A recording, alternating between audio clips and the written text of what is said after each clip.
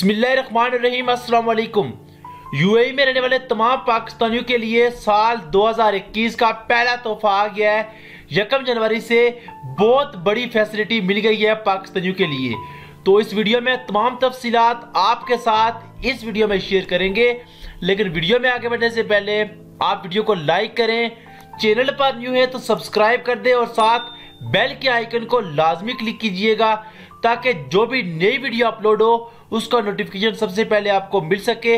आपको बताते चले कि पाकिस्तानी वजी दाखिला शेख रशीद अहमद ने ऐलान किया है कि तमाम पाकिस्तानी, चाहे वो इस वक्त यूएई में मौजूद हो या दुनिया के किसी कोने में मौजूद हों, अगर उनका पासपोर्ट एक्सपायर हो जाता है और वो अपना पासपोर्ट रिन्यू करवाना चाहते हैं तो वो उसी अमाउंट में जिसमें वो पहले पाँच साल का पासपोर्ट बनवाते थे, अब वो दस साल का पासपोर्ट बनवा सकेंगे।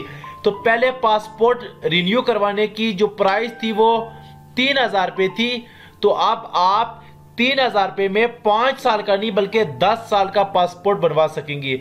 और ये जो पॉलिसी है, ये यकम जनवरी 2021 से इम्प्लीमेंट होगी।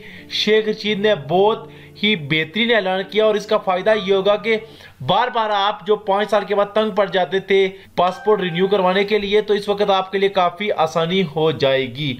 इसके साथ आपको ये भी बताते चलें कि ये जो पॉलिसी है पासपोर्ट रिन्यू की, ये सिर्फ़ ग्रीन पासपोर्ट वालों के लिए है, रेड पासपोर्ट वाले इस फैसिलिटी से फ़ायदा नहीं उठा सकते। तो इस वीडियो को लाजमी उन तमाम दोस्तों के साथ शेयर करें, जिनको इस हवाले से अवेयरनेस नहीं है। यूएई के हवाले से मजीद अपडेट जानने के लिए चैनल को सब्सक्राइब करें और बेल आइकन पर लाजमी क्लिक करें।